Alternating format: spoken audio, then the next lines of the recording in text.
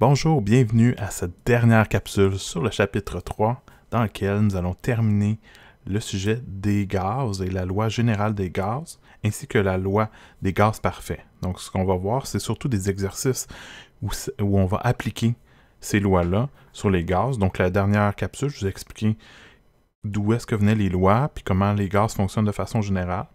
Donc la première loi générale qu'on va utiliser, qu'on va appliquer, c'est celle qui est ici. Donc P1 fois V1 sur N1 fois T1. Donc il faut comprendre que c'est comme s'il y avait des, euh, parenthèses en haut et en bas de la division. Quoique pour les multiplications, ça n'a pas vraiment d'impact en tant que tel. Mais c'est toujours bien de considérer euh, qu'il y a des, qu'on doit faire la multiplication en haut, puis la multiplication en bas avant de faire la division. Puis même chose de l'autre côté, donc c'est égal à P2 fois V2 divisé par N2 fois T2. Donc ça, c'est la formule qu'on va commencer à utiliser dans le prochain exercice. Donc l'exercice 3. Donc cet exercice-là, euh, ce qu'on vous explique, c'est qu'on fait l'incinération de déchets domestiques à une température de 755 degrés Celsius. Donc, on lance un contenant. Donc, il faut comprendre que c'est un contenant qui est rigide, par exemple, qui contient un gaz dont la pression intérieure est de 96,1 kPa à 25 degrés. Donc, ce contenant-là, il contient un certain, une, une, quantité de gaz, puis on vous donne la pression à une certaine température. On vous demande quelle sera la pression à l'intérieur du contenant à la température de l'incinérateur, soit 755 degrés. Donc, on vous dit quelle est la pression à l'intérieur du contenant, intact. Donc, intact, ça veut dire que le volume n'a pas changé, euh, puis qu'il n'y a pas eu d'ouverture, ça veut dire que le nombre de moles est resté à l'intérieur la même après avoir été jeté dans l'incinérateur, donc à 755 degrés. Ici, on était gentil, on vous note, la température doit être exprimée en Kelvin. Donc ça, c'est une des choses qu'il faut jamais oublier, c'est que lorsqu'on utilise la loi générale des gaz, on doit exprimer les températures en Kelvin. Ça veut dire que ici, les températures sont en degrés Celsius, donc il va falloir les transformer. Alors, c'est ce qu'on va faire. Donc, euh, ce que je vais demander, c'est d'essayer de, résoudre. Ce que je vous recommande, par contre, c'est de, de prendre l'équation. Et ici, ce que vous devez comprendre, c'est que on veut observer la pression par rapport à la température.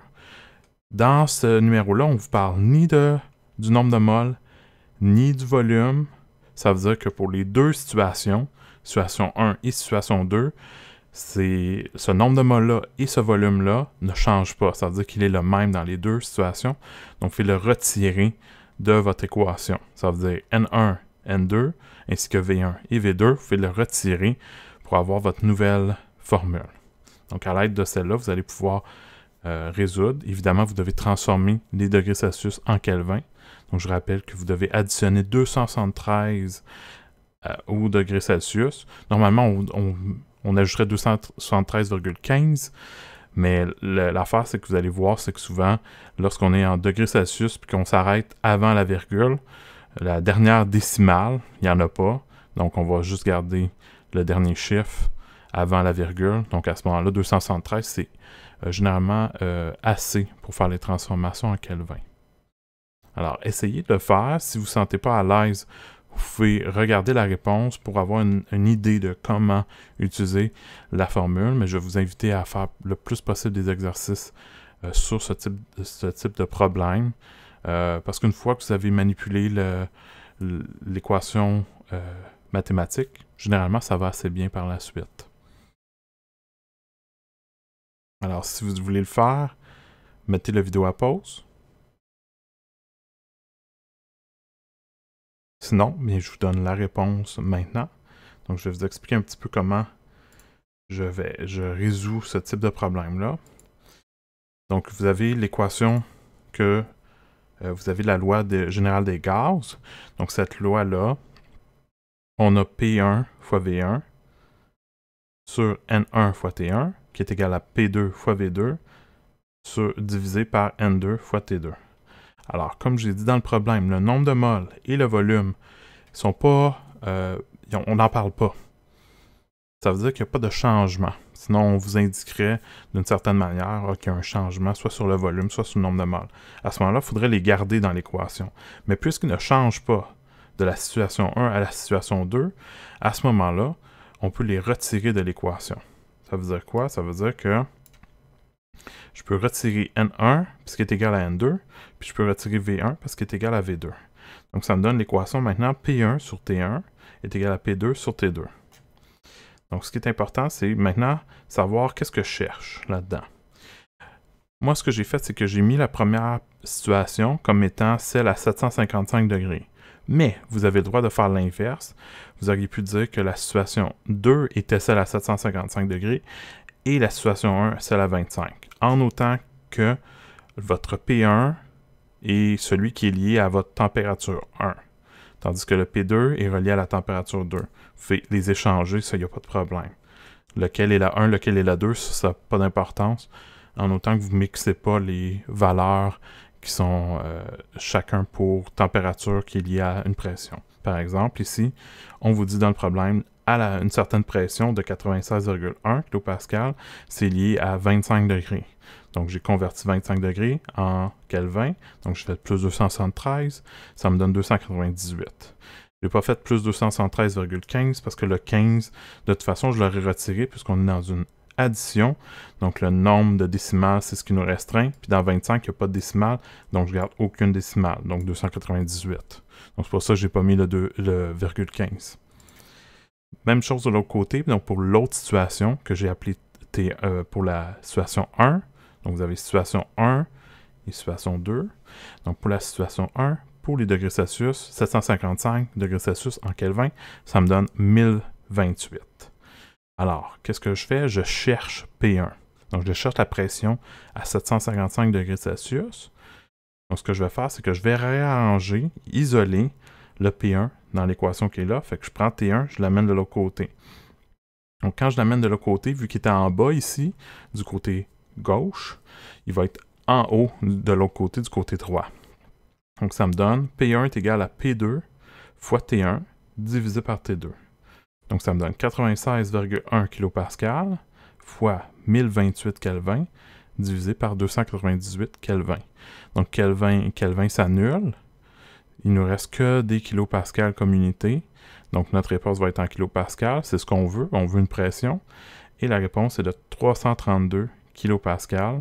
Donc, 3 chiffres significatifs, parce que 96,1, c'est 3 chiffres significatifs. Et 298 aussi, 2, 3 chiffres significatifs.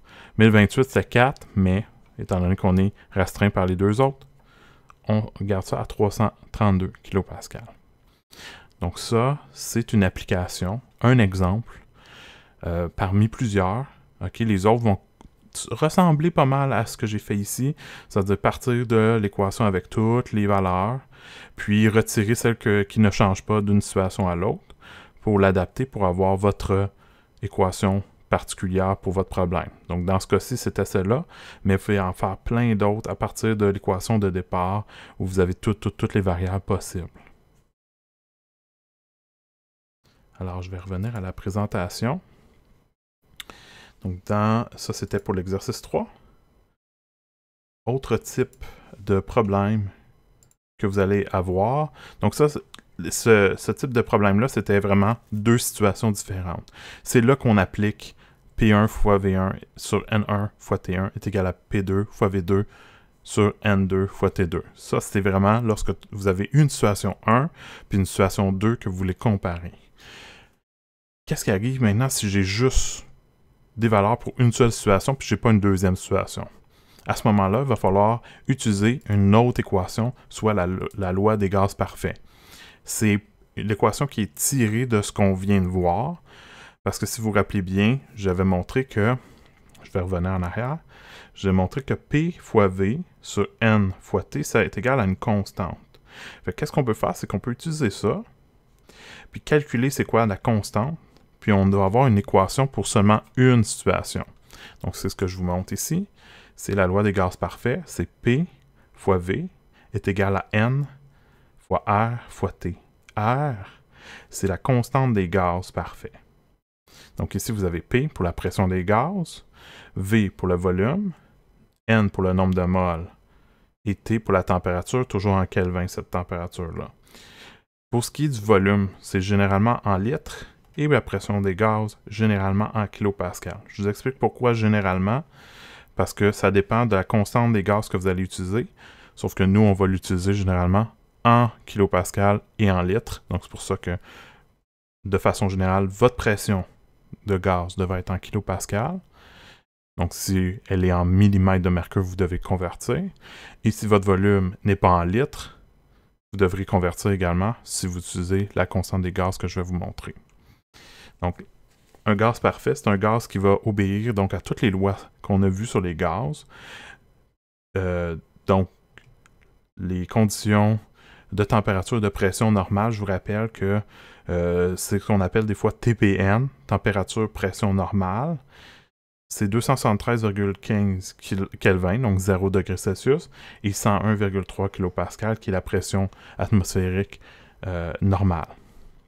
Donc, lorsqu'on regroupe toutes ces, ces trois lois-là, on a vu que P fois V sur N fois T, ça donne une constante, donc ce que je vous ai montré. Fait que si on calcule cette constante-là, on la désigne R, on peut l'évaluer à ces conditions-là de TPN, puis on l'a calculé, puis c'est ça qu'on utilise maintenant. Donc, c'est quoi cette valeur-là de constante des gaz parfaits? Donc, la voici. Nous, on va l'utiliser pour le, cours de cette manière-ci. Donc, c'est celle, la troisième ici. Donc, 8,3145 kPa fois litre fois mol moins 1 fois Kelvin moins 1, ou encore, si vous préférez, 8,3145 kPa fois litre divisé par mol fois Kelvin. OK? Donc ça, c'est la valeur que nous, on va utiliser. Il y a d'autres valeurs qui sont d'autres valeurs de R qui varient juste parce que c'est pris à d'autres euh, unités. Pour, soit ici, c'est pour atmosphère. Euh, ici, c'est pour tar. Ici, c'est en joules, mais ça, je veux. Au fond, c'est très similaire à l'autre. En fait, c'est la même valeur, mais faites-vous-en pas, on ne va pas l'utiliser de cette manière-là.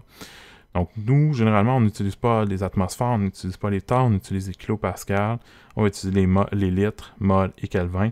Donc, c'est la troisième qui est là. Donc, celle qu'on vous écrit ici. Parfois, les gens me demandent donc, OK, mais pourquoi euh, c'est écrit comme ça pour les unités? Est-ce que je dois écrire les unités de cette manière-là? Vous devez toujours traîner vos unités pour la, pour la constante des gaz. Je sais que c'est beaucoup, c'est quatre unités à traîner, mais il faut les écrire. Si vous préférez, faites toujours les euh, écrire de cette manière-ci. Donc, je vous montre. Donc, vous les écrire de cette manière-ci à la place. Donc, euh, ça, c'est comment je l'ai montré dans les notes de cours. Mais si vous préférez, vous pouvez les écrire de cette manière-ci. C'est équivalent. Donc, 8,3145 et le kilopascal fois litre sur mol fois Kelvin. Ça, puis ça, c'est équivalent. Donc, si vous préférez le voir de cette manière-là, vous pouvez l'écrire de cette manière-là. Ou si vous préférez l'écrire sur une ligne, c'est cette manière-ci. Mais ça veut dire la même chose, OK? Dans les deux cas. Alors, ça, c'est notre constante des gaz parfait qu'on va utiliser avec l'équation euh, qui est liée. Puis, euh, on va, je vais vous montrer un exemple de son application ici. On a un mélange de gaz, OK, euh, à atmosphère contrôlée.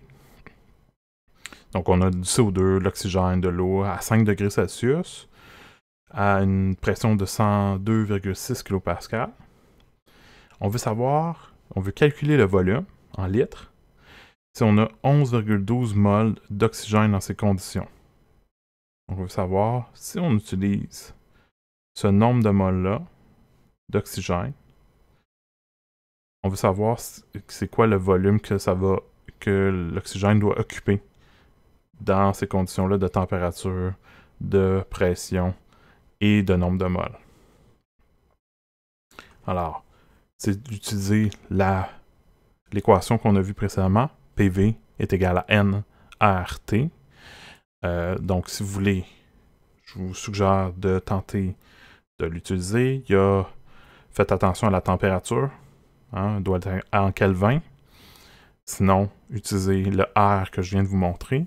Donc, vous devriez arriver à la bonne réponse en isolant le V, donc le volume. Donc, tentez de le faire en mettant le vidéo à pause pour l'instant, faire l'exercice.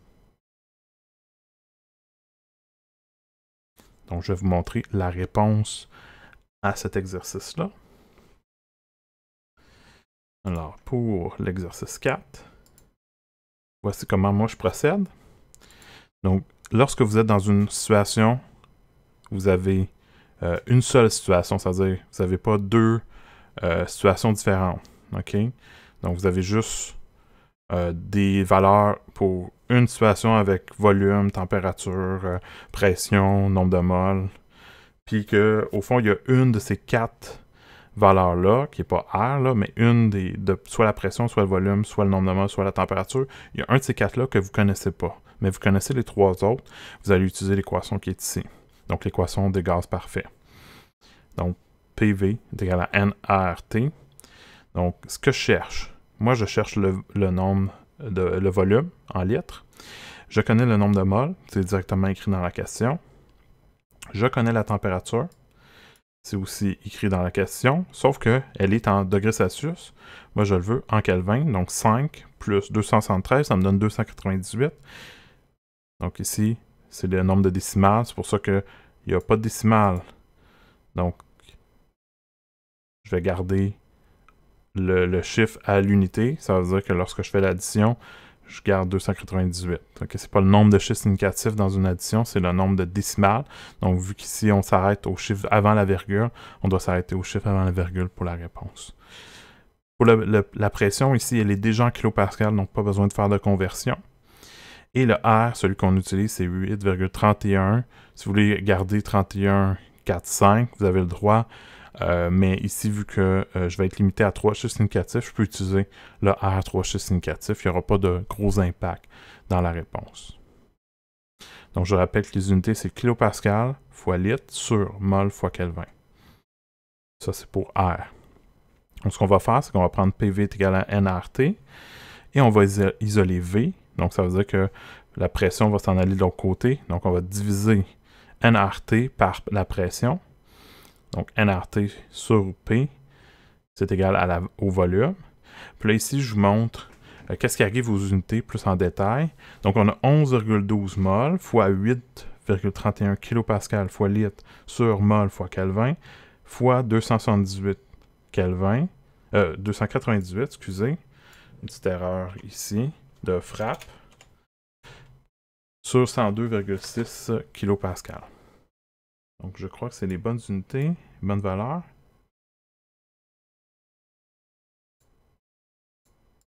Euh, oui. Excusez-moi, je vais juste revenir. OK. Euh, c'est 278, excusez.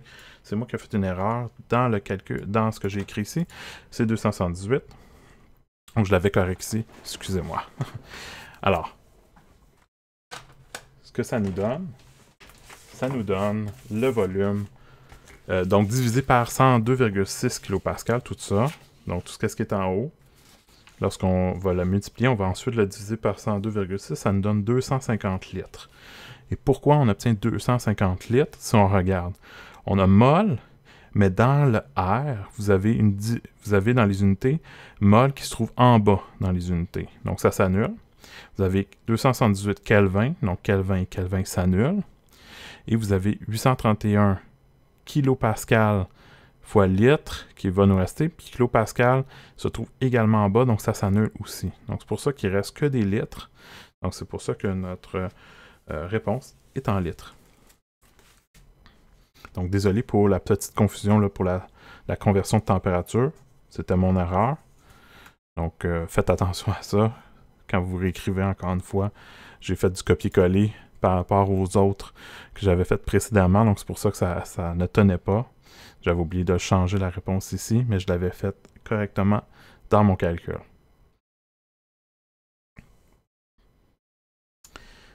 Alors, dernière utilisation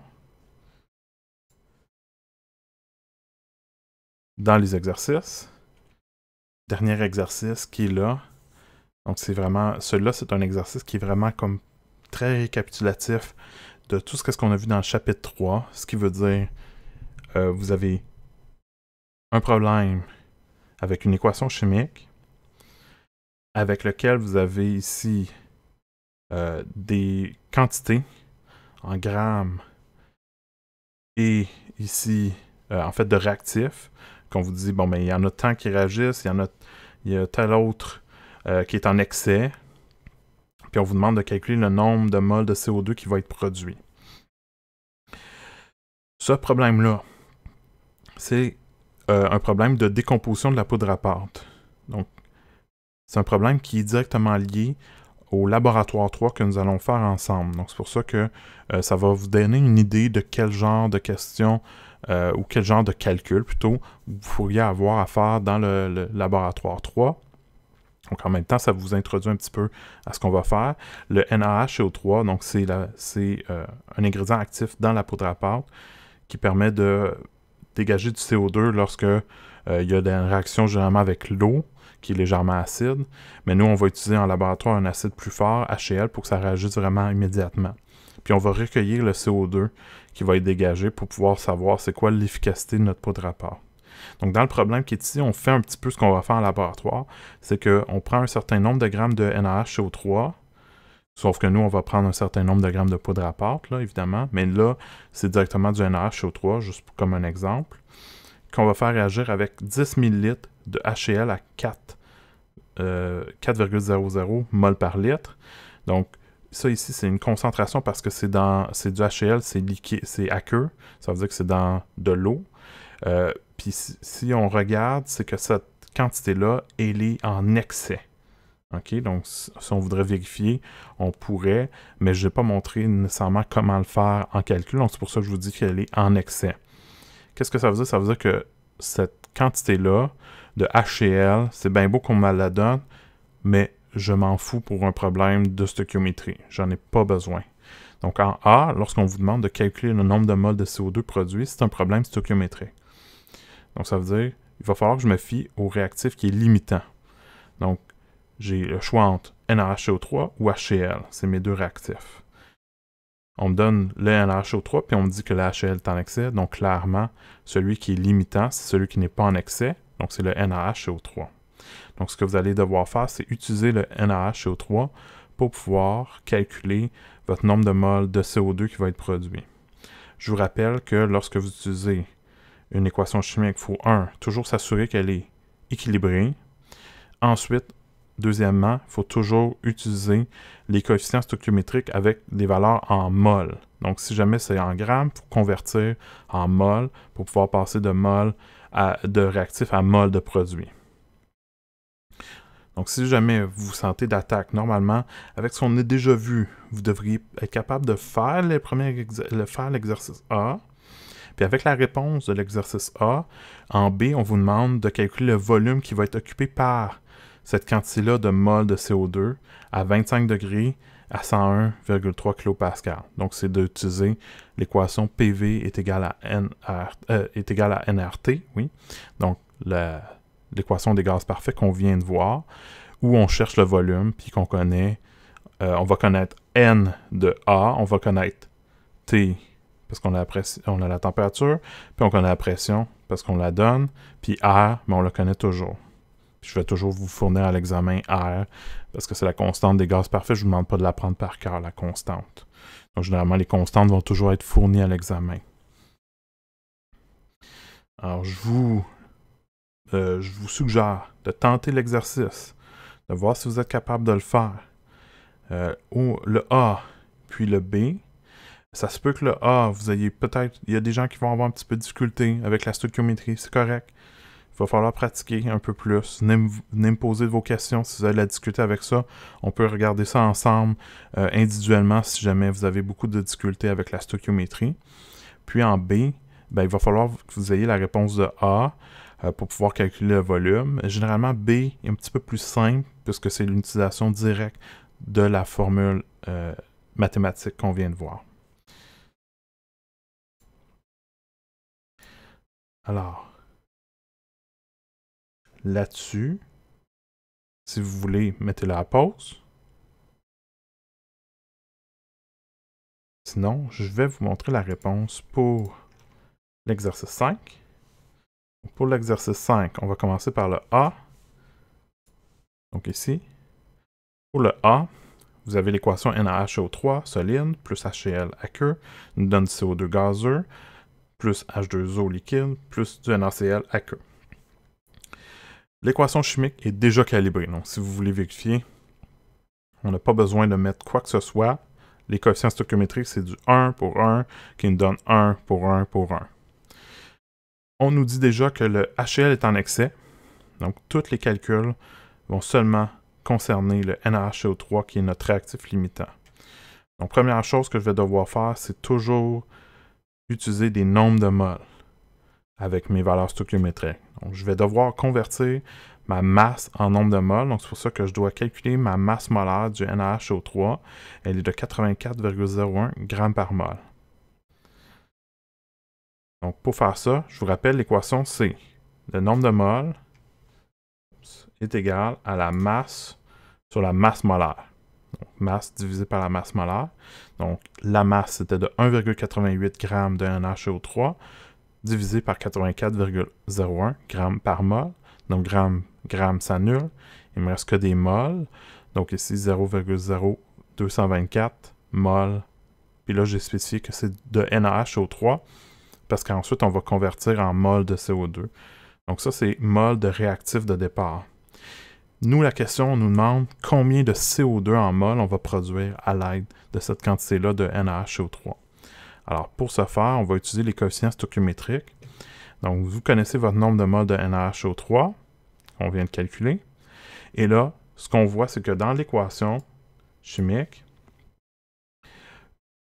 lorsque j'utilise une mole de NaHO3, ça me donne une mole de CO2. Donc, qu'est-ce que je fais? C'est que je prends mon 0,0224 mol de NaHO3 fois 1 de CO2 divisé par 1 de NaHO3. Donc ici, 0,0224 mol de NaHO3 fois le coefficient stoichiométrique de ce qu'on cherche, donc c'est 1 pour le CO2, divisé par le coefficient stoichiométrique de, de ce dont quoi on est parti, soit 1 pour le NaHO3. Donc, mol de NaHO3, ça s'annule avec mol de, NaHO3. Il me reste que mol de CO2. Évidemment, là, c'est du 1 pour 1, donc ça, me donne 1. Donc, la quantité de NaHO3, c'est la même pour le CO2. Donc, ça, c'est pour le A. Une fois que vous avez calculé, vous avez trouvé le A, votre nombre de moles de CO2, ça vous permet de pouvoir répondre au B, parce que maintenant vous connaissez le nombre de moles de CO2, vous connaissez la température parce qu'elle est donnée dans la, question, vous connaissez la pression parce qu'elle est donnée dans la question, donc vous êtes capable de calculer le volume à l'aide de PV est égal à nRT. Donc je vous montre ça pour le B. Donc étant donné que c'est un gaz, le CO2, je peux utiliser l'équation des gaz parfaits. Puis là, j'ai pas deux situations. Hein. J'ai pas P1, V1, puis P2, V2, par exemple. J'ai vraiment juste une situation à une température donnée, une pression donnée, un nombre de moles donné. Je cherche le volume. Donc le volume, c'est ce que je cherche. La température, là, c'est vraiment 25. Donc 25, puis là, ici c'est un égal et non pas un plus. Donc 25 plus 273 me donne 298 Kelvin. Là, c'est mon 298 que tantôt j'avais dans l'autre problème. Je l'avais mal écrit, mais là c'est correct. C'est vraiment 298 à 25. La pression, c'est 101,3 kPa, c'est ce qui est donné dans le problème. Et le nombre de moles, c'est ce qu'on a obtenu en A, soit 0,0224 mol. Le R, c'est toujours le même qu'on va utiliser, soit 8,31.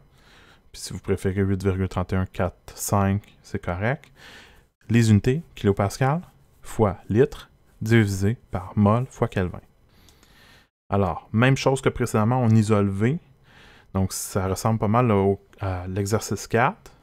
Mais on pourrait isoler autre chose que le, volume? C'est juste ça donne que les deux exercices qu'on fait, on isole le volume, mais on aurait pu isoler la pression, on aurait pu isoler autre chose.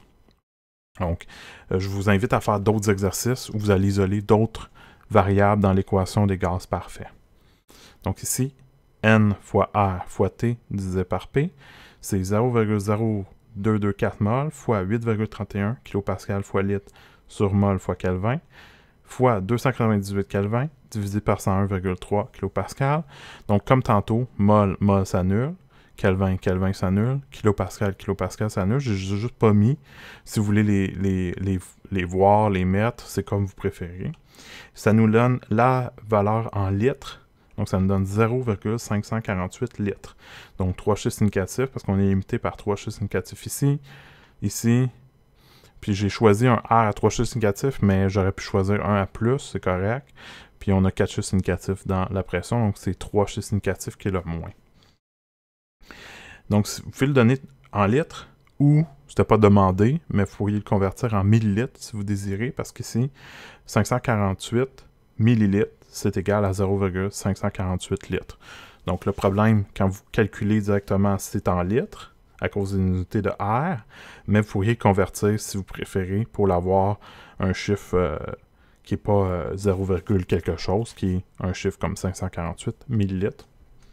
Ça se dit bien, c'est correct, ça serait accepté les deux. Alors, ça termine le chapitre 3, donc sur les gaz, mais aussi la stoichiométrie. Euh, puis vous pouvez avoir des gaz dans la stoichiométrie, comme vous venez de voir.